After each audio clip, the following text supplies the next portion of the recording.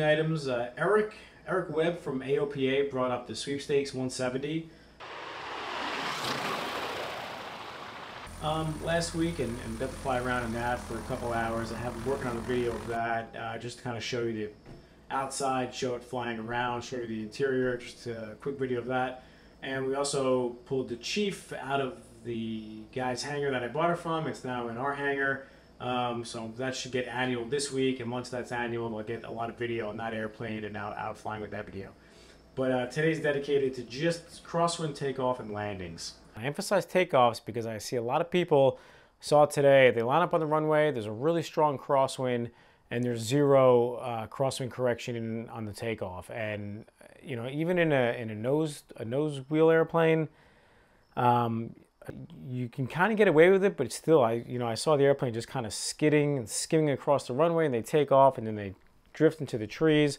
It's really important when you line up on the runway, go ailerons full into the wind you don't have to worry about having too much aileron because you're not there's zero airflow over the flight control. So start as as aggressive as you can, aileron all the way into the wind, stick all the way back because you're gonna have zero airflow not only over the ailerons but over the rudder. You know, one, two, three, four, five, neutral stick. Keep the aileron full into the into the wind, but you can you know go neutral on the elevator. Let the tail come up and then take off. Uh, and then on final approach, when it's really windy, crab into the wind to maintain that extended center line. And then when you're about to touch down, put the airplane in a side slip. And again, the difference between a forward slip and a side slip. Side slip, the nose of the runway the nose of the airplane is basically tracking the flight path, where a forward slip, the nose is off to either side. Crosswind landing, you want to do a side slip. Uh, and then again, on takeoff, you want aileron full into, into the wind, and don't be afraid if that um, if that downwind wheel is going to lift up. That's fine. You can roll down the runway with, and that's ultimately what you want. Roll down the runway with you know the downwind wheel up, and the uh, upwind wheel down, and then take off and then crab into the wind. And when you're coming in for a landing, same thing. You crab into the wind, put the airplane in a side slip. You want to make sure, and again, think of it this way the wind's coming from this way, right aileron, left rudder, the wind's coming from the right.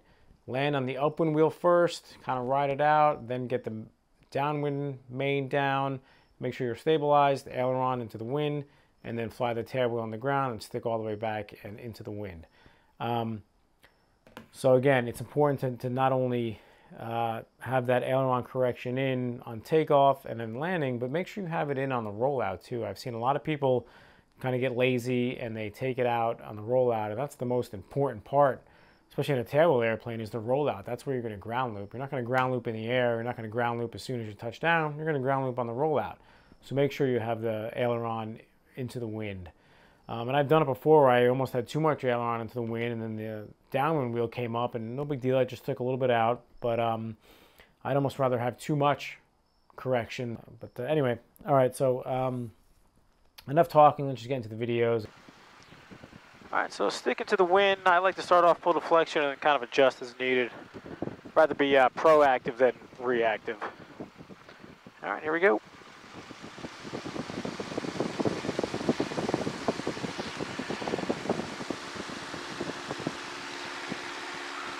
Back on center line, and then just crab it to the wind, maintain center line.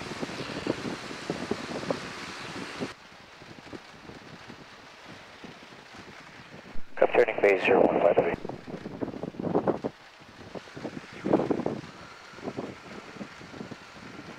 Turning final 0153. I'm going to carry a little extra power here and plan on a wheel landing because I want to drive it onto the runway. I want to make sure I've got enough control authority with the amount of wind that I have. A little sink there, add a little bit of power. Work at the feet.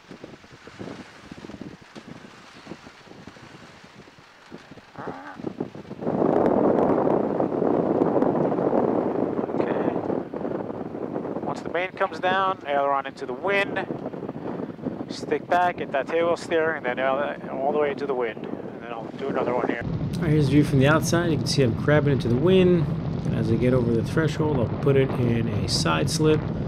So left aileron, right rudder, land on the upwind wheel first, and then bring the downwind main wheel on the pavement and then stick back, ailerons into the wind. And then here I went for a, another one and took off again. But look at the ailerons into the wind right there. And here's the view from the gear. Left main, which is the upper wheel, down first. And then I bring down the downward wheel. There you go. And here's a three-point crosswind land. Turning final 015 Heavy. Again, be ready to go around, be ready to add power if you need to. Be proactive with your feet. Don't let the wind, you know, push you around. Flying Heavy South 862, flying attack runway heading final call. All right, I'll do a three-point landing here to kind of show you what that looks like. Just keep the airplane flying, keep the airplane flying. Keep it flying, keep it flying, flying, and then stick it to the wind. There you go. Here's what it looks like on the grass. You can see sticks all the way back. I land on the upwind wheel first, then the tail wheel, and keep the ailerons into the wind. And also, when I first got the airplane, I was terrified of any amount of wind. Uh, so I would incrementally go out when it was just above my comfort zone, and that's how you practice and get good. Is if I, you know, I put myself on a limit. Okay, no more than three knot crosswind, and then there was, you know, three or four knots, and I'd go. And then I put my limit at five. Got good at that, and at five, six, and I'm up to the point now where, you know, it's if the airplane can handle it, I'm pretty comfortable doing it. Uh, but again, work your way up to that. That's that's what I did. It worked out really well. And believe me, you, you'll want to do that because a lot of times the winds like today are a lot stronger than forecasted. And if you get stuck somewhere and you come back, I mean, of course you never have to go, but you know, eh, are you going to ground the airplane 100 miles away because there's a 10 knot crosswind at home? Probably not. So just something to become proficient in.